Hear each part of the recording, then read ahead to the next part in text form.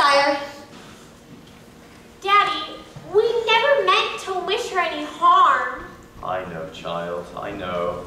And if she's never found, and I'm forced to sing her solo, ah. Don't call us. we won't rest, Papa. Not till she's home. Thank you, dear child.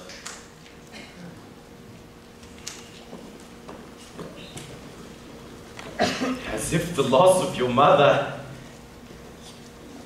wasn't enough.